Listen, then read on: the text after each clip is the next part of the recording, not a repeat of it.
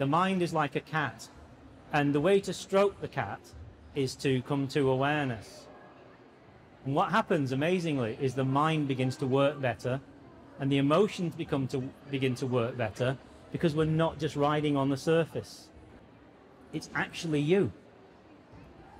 What's really amazing is we started out by saying that at the first level of awareness, we think it's all about us. But then when we actually move into awareness, it is actually us. So the only path that you need to walk, it's not the ego path of your life, but it's the path of your own life.